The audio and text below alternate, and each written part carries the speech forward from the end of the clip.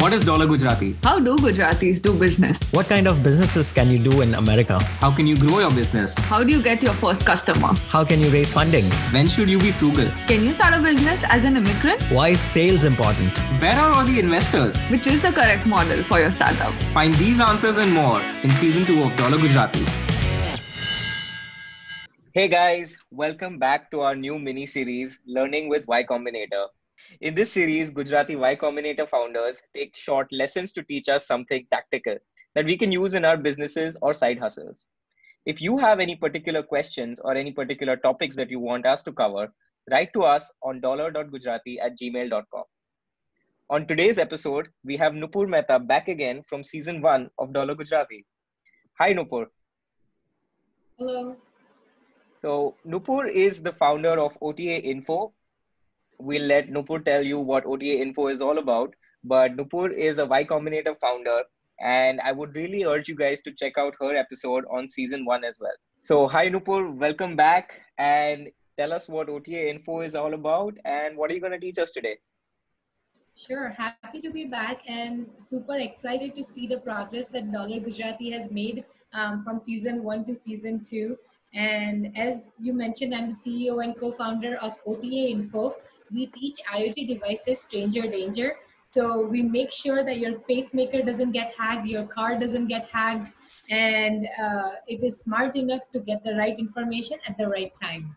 So today we're going to talk about networking, networking 101, and how an extremely shy person became or gave a persona of being an extrovert and making meaningful connections that really help take the business to the next level yes, we do have some slides. I'm going to walk you guys through uh, my journey and how I learned the best practices. So about me, I moved from India to US in 2007. I was extremely shy to the point where talking to people was extremely hard for me. I started my first company in 2009 while I was still in high school. It didn't go anywhere because SATs got in the way. Then I took a leave of absence from USC to, you know, work on some crazy idea in my junior year of undergrad. Got into YC in 2016 and started my third company, OTA Info, in 2020, February. Another crazy story. But today we are going to talk about like a lot of people ask me, where do I get started? There are so many opportunities out there. How do I narrow it down? How do I focus and make something out of nothing. So if you guys have always wondered if you have an idea that you're tinkering with but don't know how to go about it, uh, how can networking be really helpful in getting you guys started? So first of all, when I started, I didn't know anything. So uh, I thought that if I met a lot of people who are really good at what they do, they will be able to help me. So I started going to every single conference I could possibly go to. I met some really cool people there. For example, I met the cast of the show Silicon Valley. By the way, very true. I met a team of pilots who were like uh, flying a solar air- airplane all over the world. I met I met a bunch of cool people for example, John Daymond from Shark Tank, aka co-founder of Fubu. I met the co-founder of Yahoo, Jerry Yang. I met the person behind Google Car who led the whole department. I met Steve Blank, who is the guru when it comes to anything startup. Um, I met Satya Nadella, although very briefly. I met Mark Benioff, the CEO of Salesforce. I met Mark Benioff's mom. I met uh, Jack Dorsey, co-founder of Twitter and Square. I met Aaron Levie, co-founder of Box. I met Mark Zuckerberg twice. Fun fact, this picture was taken by an earlier version of Snap Spectacles, uh, Snapchat glasses, as some people might know them as. And um, Snapchat didn't own it there. Now it's very ironic because they're competitors. But what I realized very soon was that these are all vanity metrics. What I mean by that is it was cool to meet all of these people, but it was meeting people without an ask. I did not get anything out of it other than a cool picture and a cool brief conversation. And they didn't get any value out of it as well. So uh, once I realized that, I started having a lot more targeted exposures. And these are four success stories. The first one is Tom Reilly. He's the CEO and co-founder of Cloudera, or at that time he was.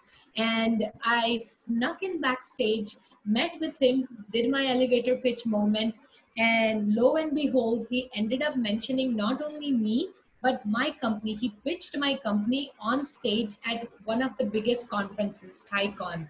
And least to say, this was one of the easiest events to network at. Next, I met Guy Kawasaki uh, after uh, we both attended Obama's, uh, you know, talk, and we had to go from location A to B, and amazing 20 minute walk uh, with a lot of feedback. Still in touch with him. Next, I met Phil Libin, co-founder of Evernote.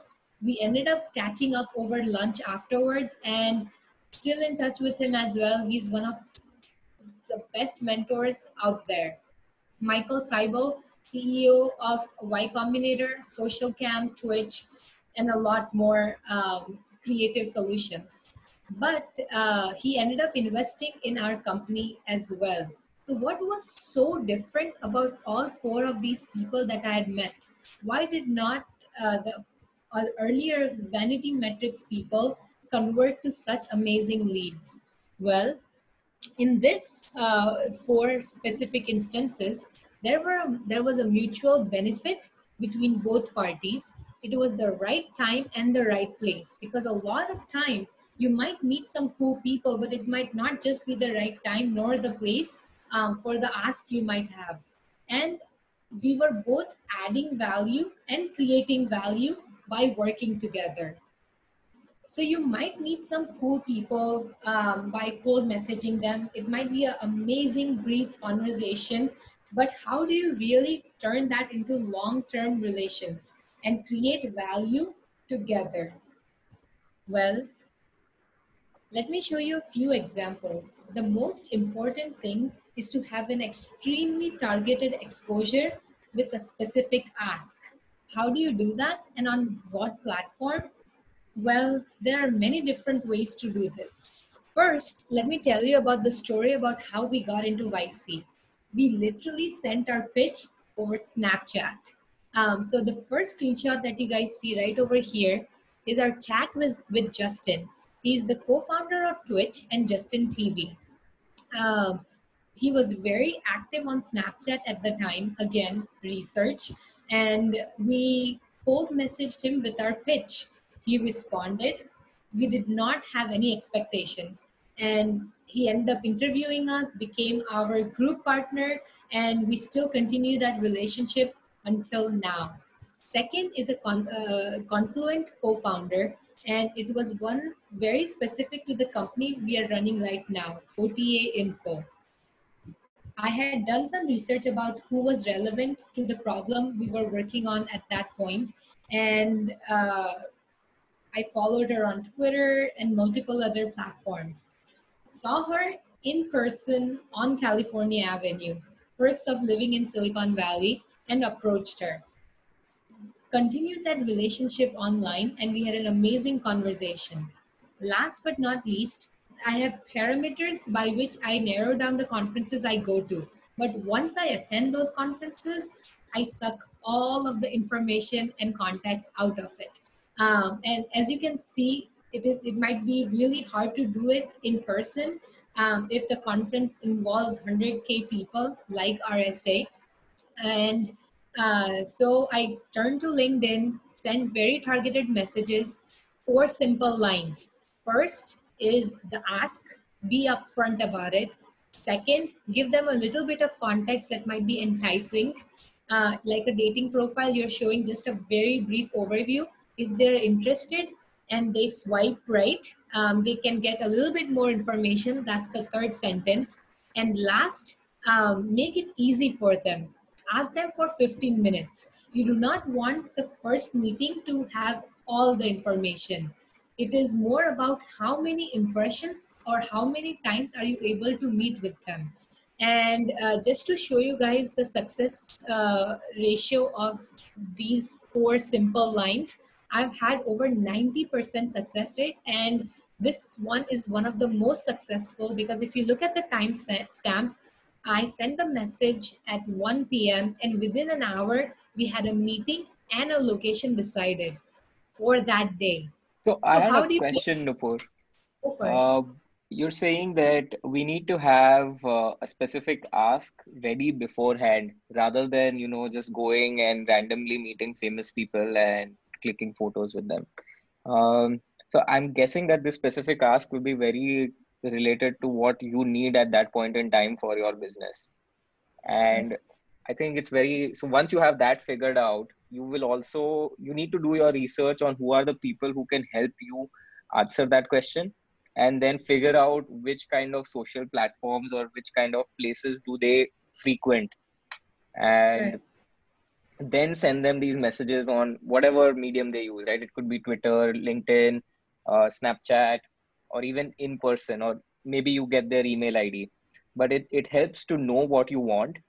It helps mm-hmm. to know who can help you answer that. It helps to know where that person is you know living on the internet. And mm-hmm. uh, then you go through this you know four step uh, message where you are firstly you are saying what you want.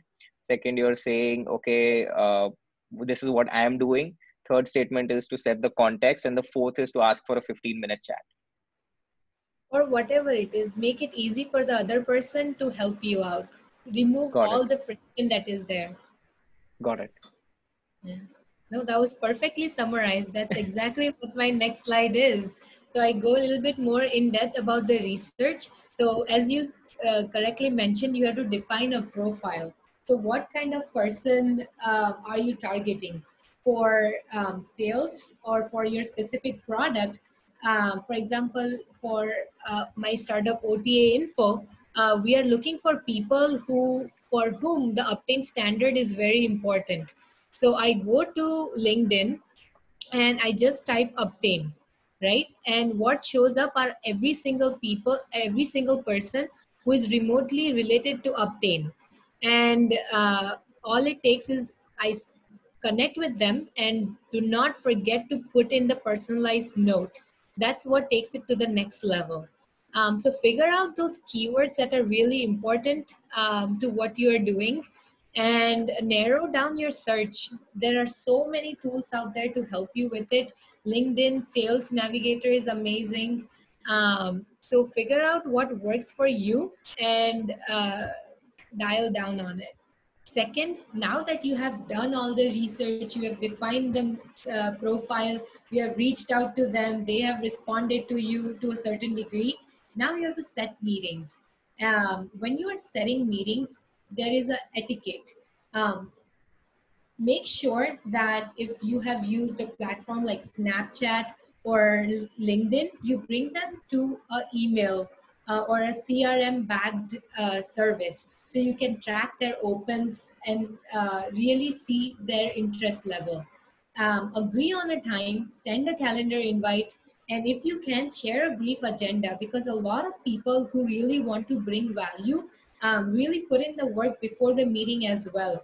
So if you are able to send them a specific ask or, you know, this is what we're going to be talking about, it gets their brain juices working. Um, so they might be subconsciously thinking uh, about it throughout their day. And once they see you, it's a lot more serendipitous.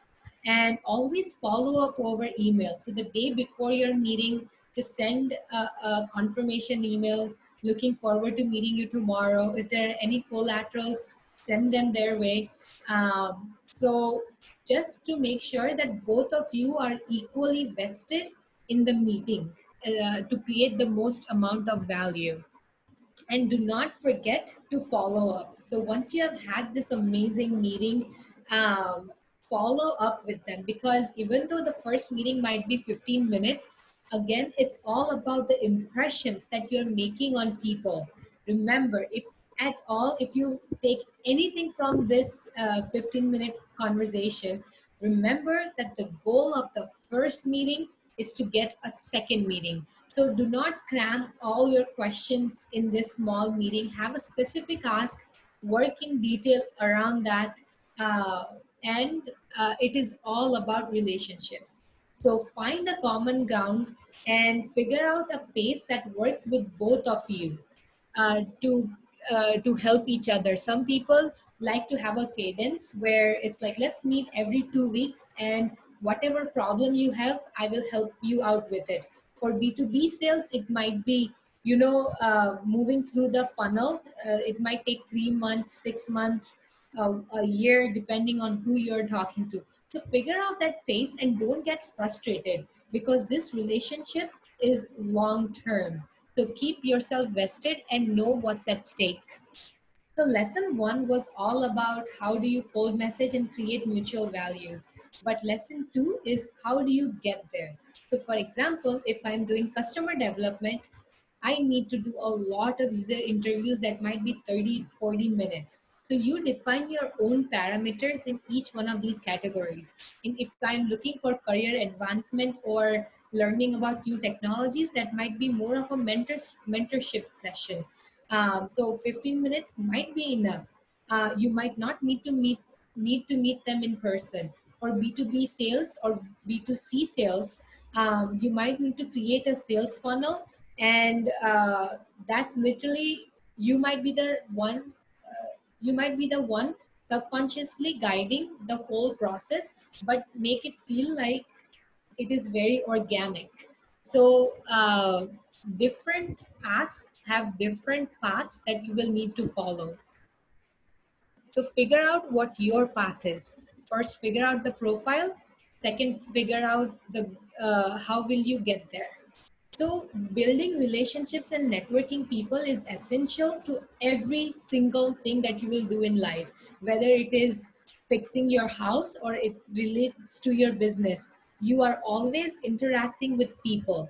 So uh, having a very targeted exposure and getting the most value to both parties involved is is the crux of networking so go out there meet new people safely during covid network online and have fun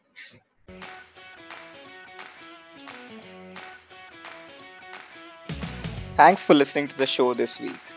And if you want to ask us any questions or want to see someone specific on our show, write to us at dollargujarati at gmail.com. You can also tweet to us at dollargujarati. Make sure you don't miss any episode by subscribing to our podcast on Spotify, Apple Music, YouTube, or however it is that you get your podcast. I'm Dakshaday Shah, and you've been listening to Dollar Gujarati.